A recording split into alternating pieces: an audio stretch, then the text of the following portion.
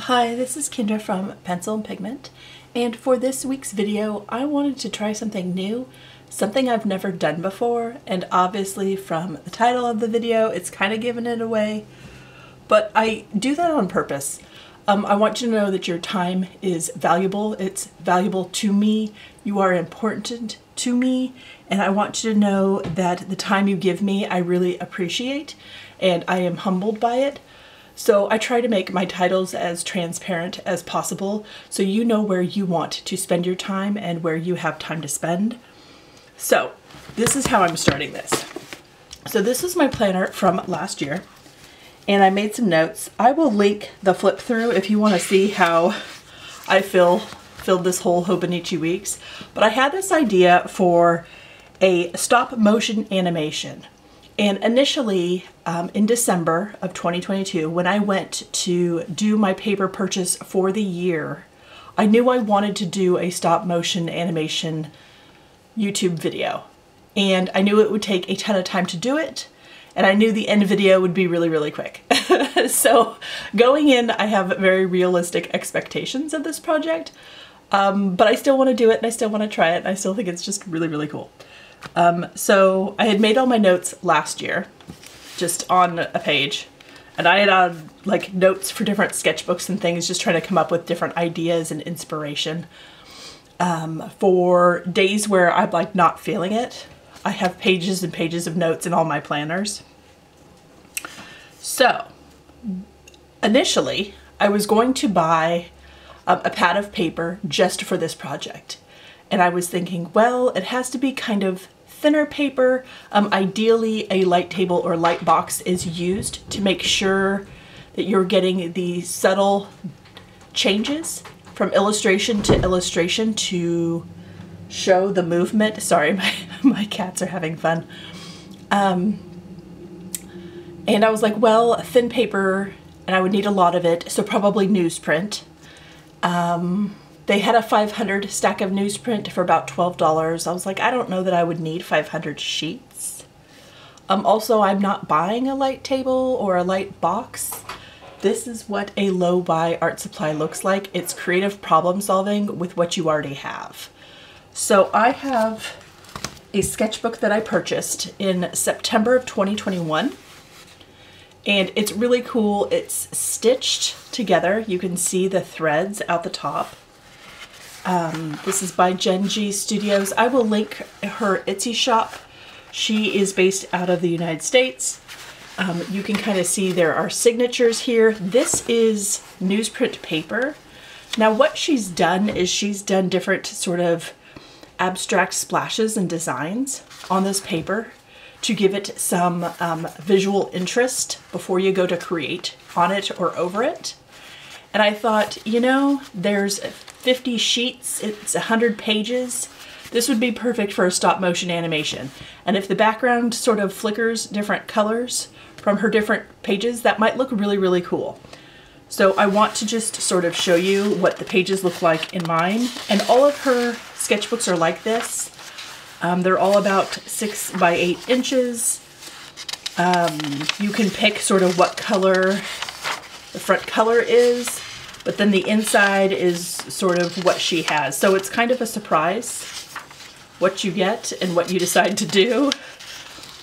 Um, what comes on the pages. I just think it's a really cool idea for illustrating over. Now, um, I could have very easily saved this and done like ink and then just done it one-sided, made sure I had a pencil board because newsprint is really thin and ink things bleed. So I would had to have figured out how to protect the next sheet. And then I could have done ink portraits or illustrations on top of these really unique designs. My cats have opposable thumbs. Um, so that was one thing I could have done. I could have used this for like pastels or acrylic paint or some sort of tempera egg paint wash. But I think charcoal I can create on one page and it'll it'll be okay if it smudges. I'm not doing any fixative spray. I'm gonna have this be, it's not gonna be hyper realistic. I'm going to do sort of quick sketch silhouette type shapes. um, and see if I can get those through subtle changes into motion. And but again, I know the backgrounds are to be kindly kind of um, different, so it may be a little distracting. Um, it may look really cool. I don't know. This one says Colorado. Um, Denver is the capital of Colorado. It is it is a high elevation. If you like winter sports and mountains, that's that's the place to do it. Okay. So you can see all these pages are so vastly different from each other. Um, this book was fairly affordable. Again, I just sat on it because I had so many other things I wanted to get through, and I found that with color substrate paper, um, it takes me a long time to want to use it. Again, the way she stitched it, there's pockets in the actual sketchbook. Um, I, I have her business card tucked in. I'm not sponsored by anybody or anything. I just wanted to show you this product that I'm going to be using for this because when I go to photograph what I'm doing, people are going to be like, wow, where'd you get that? And so this is that. But before I start creating in here, I need a plan. So I have my notes of what I want to draw. I need to create some form of plan so it evens out. I know going in this is going to take a while. And I know when I am done and I photograph each single page, it's going to be really quick. But I think if I illustrate this in a thoughtful, planned out way, I can loop the illustration and run through it a couple times. Therefore, sort of enjoying the experience just a little bit more because it's a little bit longer. So that is the idea. Now to loop illustrations and be thoughtful of all 100 pages, I think I'm gonna have to storyboard this layout a little bit.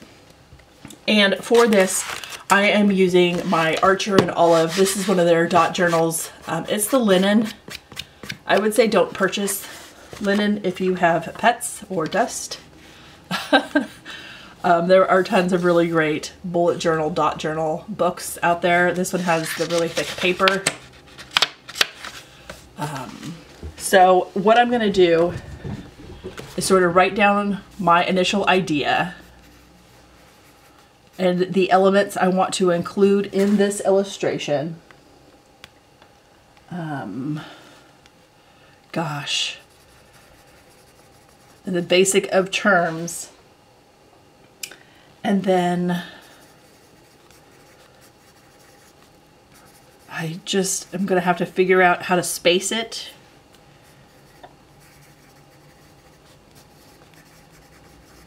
And this may be too much and I might have to remove some of the elements. Mm. Okay. So if I think out of 100 pages, if I plan out sort of, I'm going to initially plan the first 10. And those are going to be sort of the key core elements that the pages in between have to get me from one to the other fairly evenly, fairly distributed in a way that looks like movement. Again, this might be really jagged and sort of, it may look overly arty and it may not look like a stop motion video at all. Again, I just need to figure out how I'm going to do this. And I may simplify it so I can have more subtle movement to keep that sort of stop motion going. Now there are some stop motion um, creators on this platform. There's one that does stop motion within toys that are really cool. And then he shows the behind the scene process of how slowly he moves the toys to photograph them to create the videos. And it's really, really cool. I will link his channel. Um, for the creation, I am using Vine Charcoal. This is the Nitram um, it takes me a really long time to go through one stick. So I'm not worried about running about out of supplies. That's kind of some of the things I don't want to worry about is not having enough paper. So I need to make sure what, you know, the mediums aren't going to bleed and that I'm not going to run out of mediums. I don't want to have that on my mind. The only thing I want to think about is getting done all these pages within this week and then making sure that they flow and that the story sort of makes sense and you can visually sort of see the movement within the different photos when I put all the photos together. Now, I could not have done this without editing software, which is why I didn't do this last year. And again, this is going to be over a 12 minute video. So this is why I am doing it this year and making sure I have everything that I need. And I sort of want to, if you're really curious about this, I want to take you along with this process and sort of document how long these things take. Again, the initial idea that I came up with only took me about five to 10 minutes. Sometimes I'm just sitting there at night and like weird ideas hit me and I'm like, oh, that's hilarious. You know what I should do with that? And then I just make a note. And then again, it can take me over a year to get to that idea, if I ever get to that idea. So I'm going to now start storyboarding and figuring out if I can get all these ideas into it. If not, I'm going to simplify it and I'll let you know. Okay, so I have my main ideas and keep in mind the storyboard sketches are always super rough. But again, I'm not doing hyperrealism for this idea. So I kind of have the main, it looks a little morbid. It's not morbid, it's meant to be beautiful. Um, and then it should end where it starts so it loops back around again. Um, that's the idea. So it's very, so I have all the pages in between. If these are every 10 pages, but I have nine pages in between to get from here to here. And I think with taking some of the ideas out and just keeping it really simple, that should be more achievable within the 100 pages. Now, again, I've never done this before, so I just, I like to jump in all at once. So that's what I'm gonna do. So with this in mind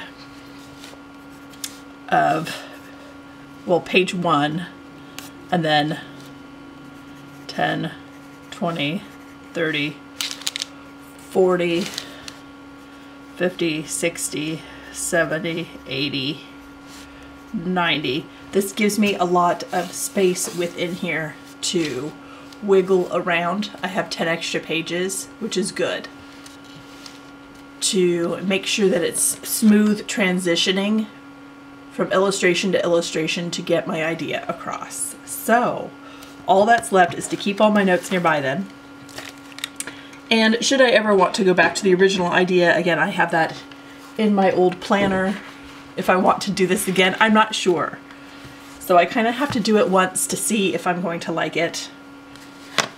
And I'm going to be doing it this horizontal or landscape orientation just so I can maximize the illustration per page. So it's time to get started.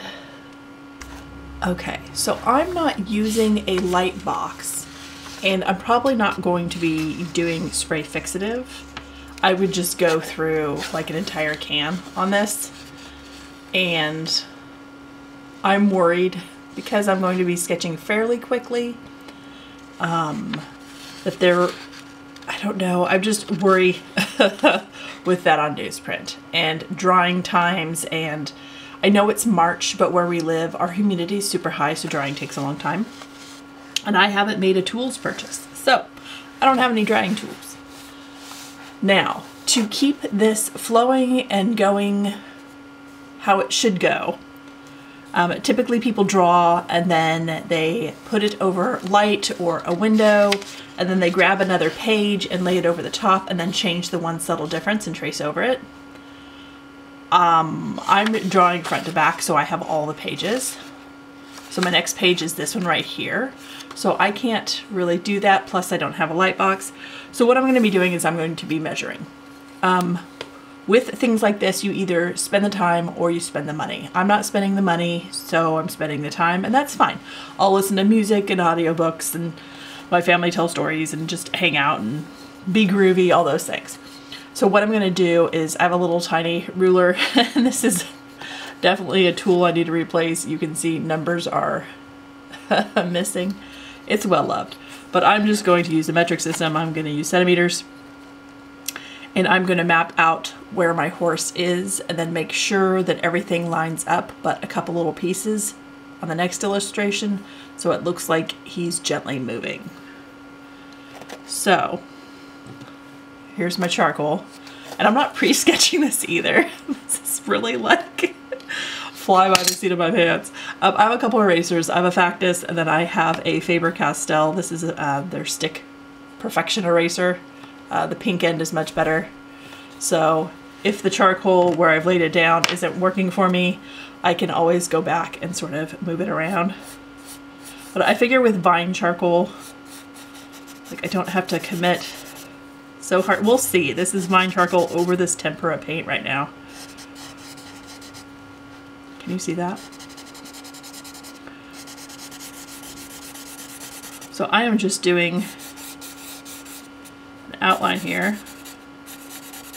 If you're wondering what I'm drawing, I am doing the silhouette of a horse. Horses are really cool animals. So let's see if I can convey this message. Now I have compressed charcoal. I have really dark um, charcoal sticks.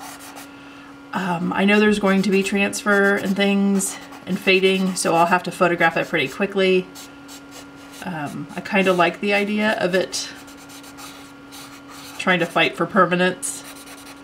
Um, I don't know if I'll have to go back with those. I just have to be really, really careful because with compressed sticks, I tend to uh, be pretty rough sometimes and I rip the paper trying to get it completely pitch, pitch black. All right, so this is the horse's first movement. And there is a hoof that is up. Okay, and that can be seen, and then horses have tails. Sometimes. Sometimes they're braided or clipped or tied up, like braided into like a little folded up bun situation. That is really hard to see. So, hmm.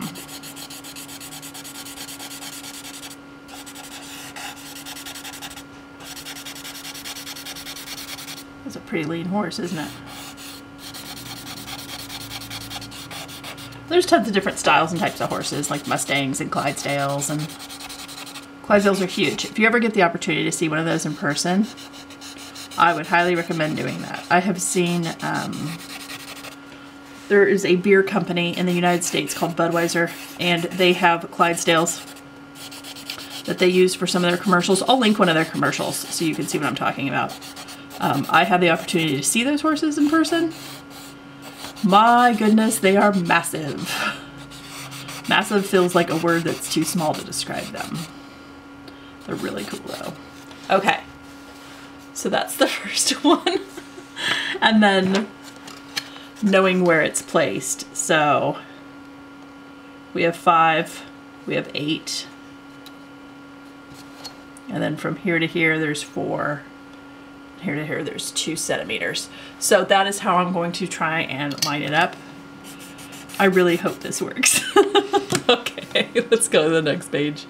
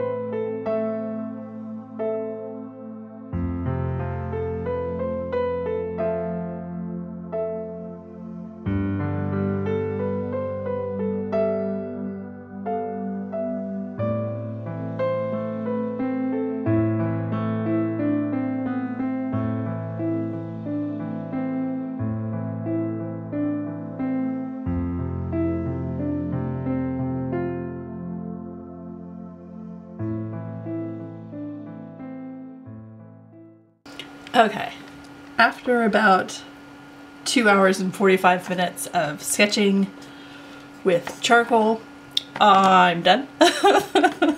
so all in all, from start to finish, I would say, and I didn't finish all the pages. I did about, mm, let's see, that's 10 and that's 10. I did about 75 pages instead of 100. Um, from start to finish, three hours. So that's kind of cool um, that it's not like a full week thing. If you want to try this, if you want to experiment, um, I just have such respect for folks with attention to detail, uh, comic book illustrators. It's the drawing the same thing over and over with like little tiny shifts. Like I'm not, I'm not a detail person. I'm very big slapdash. So I'm really hoping that this turns out and this looks okay. Um, if it doesn't, then I failed with grace and I learned a ton. That maybe um, having a more detailed sort of presentation and draw out of working for each page might be something that I need to have a more clear, concise plan. Again, I just sort of drew really quickly um, in my book this, and this was kind of my loose leaf plan, but maybe this wasn't detailed enough. Um, if I ever go to do this again, I think once a year is plenty. Um, I'm really hoping I can loop it and maybe turn it into something that I could put on multiple platforms. That might be really cool. Like if I could put this as a movie on um, Instagram or something and kind of like look at three hours of work in 30 seconds. Um, again, this is just an experiment. I've always wanted to try this. I've never done it before. So all right, let's get to the video.